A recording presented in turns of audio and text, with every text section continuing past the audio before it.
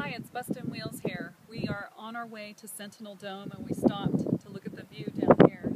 You've got the Yosemite Falls to my right, the valleys down below, and we've got to the left El Capitan.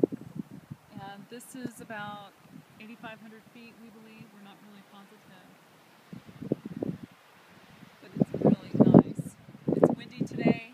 It's Memorial Day and we're just going to head up to the top and then find our way down. Peace out.